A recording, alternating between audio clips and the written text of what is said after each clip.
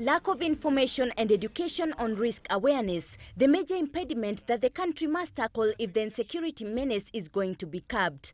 And with an approaching electioneering period, concerns of insecurity have already started to surface.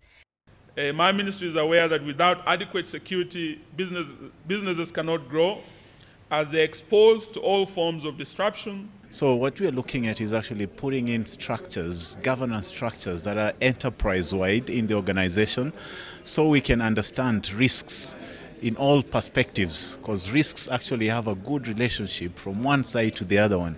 To this end, according to the Justice Minister, the government has undertaken to expedite the required legislations that will see a peaceful election, not to mention the anti-terror bill that is on the floor of the House. There is resistance, particularly from uh, some of our Muslim brothers.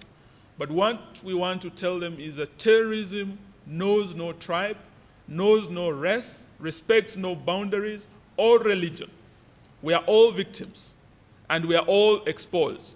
Therefore, we must do whatever is necessary to ensure that we have the tools to combat terrorism, and foremost amongst this should be the legal instruments NCBDA Chair Timothy Muriuki called on authorities to emulate best practices that have been employed by other cities in the world that have managed serious security threats.